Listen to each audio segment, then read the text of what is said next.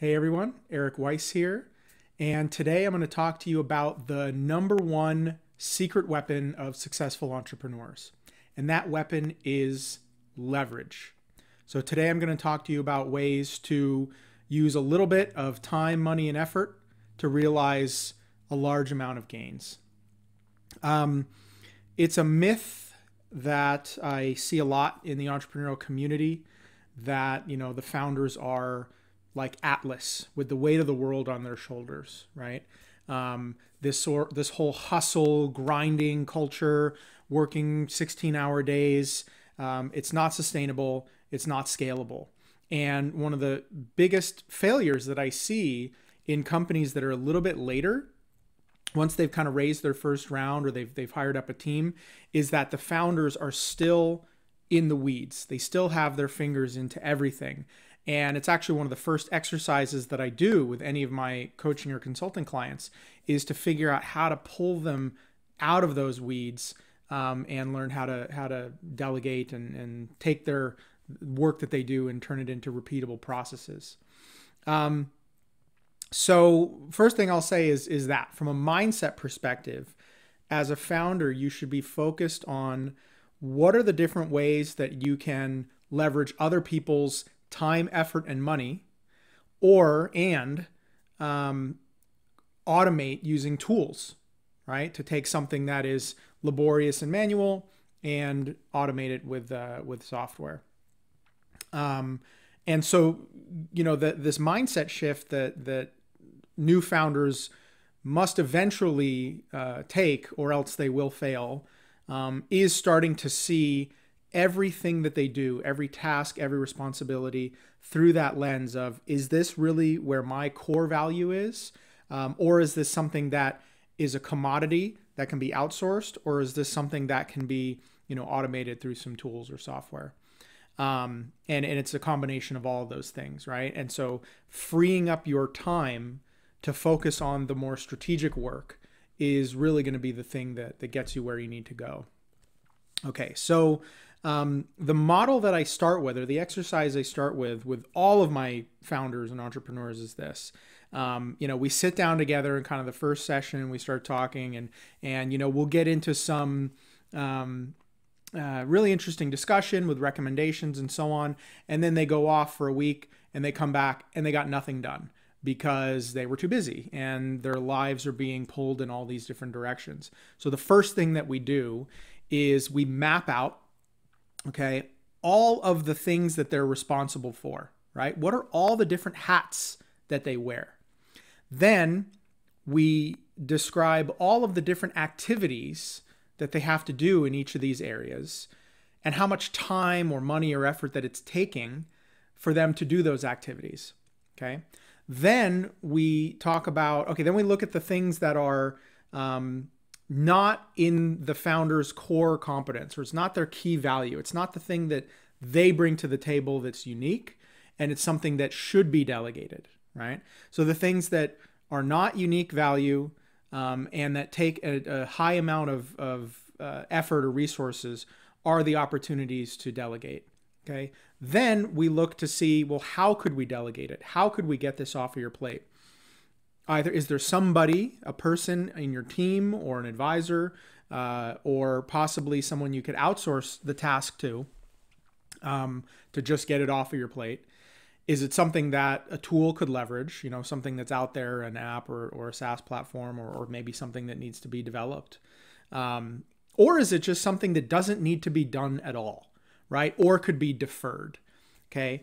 And so the first thing we do is, is we kind of map these things out and we look at the calendar for the coming week or the coming month even and try to identify what are all the different things that you're doing or meetings you're going to or things you're you know responsible for um, and we target the, the top three things right? That take up a lot of time they could be done by somebody else um, and it's not where your key value is. Then what we do is we create a process for those things. So we maybe spell it out in bullet points um, I also like to record videos of yourself doing it. It could literally just be a selfie video. It could be a screen capture, right? But it's a, a really good way to reference back to, and it's easier to create than you know typing out a, a very detailed document. Um, and then you find a person who can do that. Either it's someone on your team or it's somebody that you have to bring in from from outside. Um, you know, through a through an, a site like Upwork or 99 Designs or or whatever. Um, and then you create a really tight uh, test and a really tight feedback loop to ensure that a that you know you found the right person who can do the task and b that you've created that process so that you get what you're actually looking for. Because one of the problems or one of the reasons why a lot of founders are reluctant to kind of let things go is they feel like I mean, nobody could do this better than me right? I've got this in my mind. I know exactly how i want it. Um, well other people could do it as well as you could if you could clearly define how it should be done or what your expectations are um, so we map that out we say we give a test uh, to someone we see how they do and then come back and we say, all right, did this succeed or fail? And did it fail because it's not the right person? Did it fail because it's not the right, uh, you know, the documentation or the, the process wasn't defined properly? Um, and then we kind of build onto it from there. So in a lot of cases, what you may want to delegate is a, a sort of a domain or like a high level problem area um, and that's really hard to do with somebody who who you know isn't very high level or experienced or someone who knows you very well. So you have to be able to break things down into their kind of sub processes or sub components, delegate those things out, and then give away a larger and larger responsibility. For example, okay, um, say you are a a designer right? You're a founder, but you're really, you know, you're big into to graphic design or UX design, and you know, at the very beginning stages, you're the one doing the wireframes because it's where you're comfortable. Well, as the company and the team grows, it doesn't make sense for you to be spending your time doing wireframes, right? You should be spending your time leading the team, defining your strategy, raising money, selling, what have you. So um, you should so you know designing the product is a a big thing and it's something that you know you might not be able to outsource right away but you could take one small piece of that. Say doing a, a competitive teardown for example right? So as a part of the design process we do a teardown of our closest competitors or, or, you know other products that have a similar feature and we analyze it. We see how they do and we come away with insights or recommendations. Well that's a discrete task that can be handed off to somebody. Okay, go off, do a teardown, and come back. You can do a test, right? Now you can now this is a great thing to do in, in something like Upwork as well, where you can actually put the test as one of the uh, the interview questions to say, hey, go do me a teardown for um, you know for this product or whatever it is. You give some criteria, and people will come back to you with their you know with with something. It needs to be short, right? They're not going to spend too much time on it. Um, but then obviously for people that are in your team or in your network, you know, you can you can ask for more. And then you take, you know, maybe the next stage is, all right, you know, maybe um, doing a persona or doing an empathy map or mapping out a user flow um, and moving it all the way down to I can come to you with a problem and you come back to me with a completely fleshed out and finished design.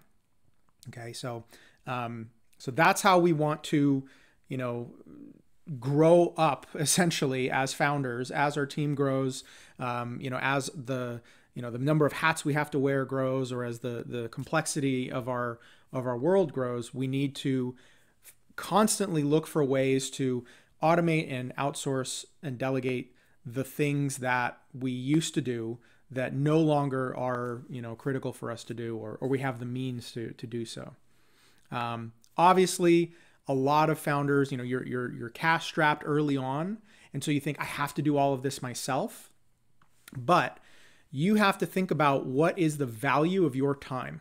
Like put a real dollar amount on what you think your time is worth, um, and then anything less than that dollar amount that you could get someone else to do it for for you, you should you should outsource it, right?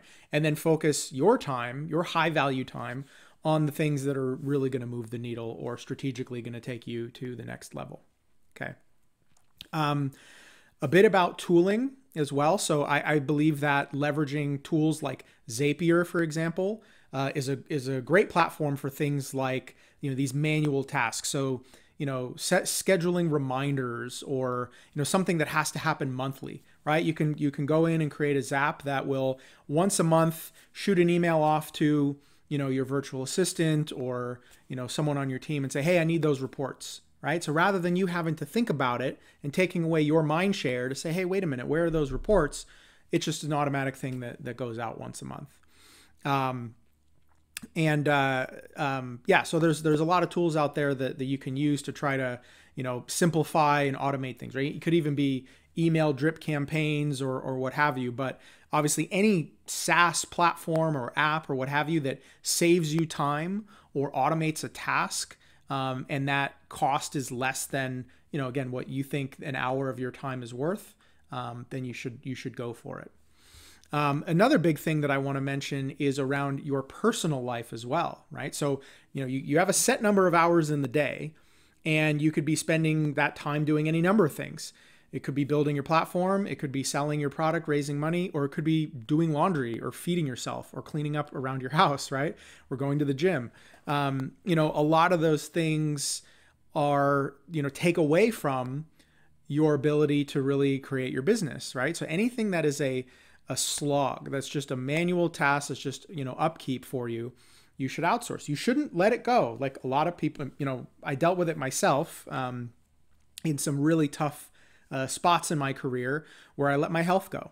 You know, I let my hygiene go, right? I wouldn't shave. I wouldn't shower. I wouldn't, you know, put on, you know, clean clothes like this. Um, and that takes away from your ability to execute right? Your your your vision, your your mind becomes cloudy. Um, you know, you, you start being more reactive or making more abrupt decisions, things like that. So being able to kind of keep things on track um, is really key. And again, in terms of value, you should outsource things like grocery shopping. Okay, I can't think of a better value than something like Instacart, where I can pay a few dollars a month and have my grocery shopping done for me, which is something that typically takes me, you know, an hour to a week. Um, and uh, you know, obviously things like lawn maintenance and you know, handiwork and and house cleaning and all these sorts of things. Like I have, you know, over my life, sort of let go of things that I typically would do myself. Like I grew up mowing the lawn, so mowing the lawn was just always a thing that I did. I had to let that go. Um, you know, being a handyman is sort of there's some aspect of machismo there. I feel like oh, I have to be able to fix things. Uh, well, I can't really fix them as quickly or efficiently or as cost effectively as you know a handyman that I that I know and I trust. Right. So um, I always think about what are the things that I do that really create value in my life, in my family, and in my business. Um, and I optimize for those things, and I am more than willing to pay money to to let as many things go as possible where it's not either a something that I can do uniquely or b um, you know something that I'm just better at than than anyone I can I can find. So um, I will share with you you know that uh, an example um, of the model that that I use with my consulting clients as we kind of kick things off um, and again try to essentially just free up your time so that we can even talk about you know some of these higher level and, and more advanced uh, uh, topics in in building and growing businesses okay? Um, so thank you so much for your time and uh, as always you know i appreciate your feedback. Um, i appreciate you engaging uh, you know with my content. Tell me if you like it if you don't like it. You know subscribe if you do. Um, you know share it with your friends and colleagues if you really love it. And uh, and yeah I'm, I'm, I'm happy to, to grow this community and i'm happy to help you out. So have a wonderful day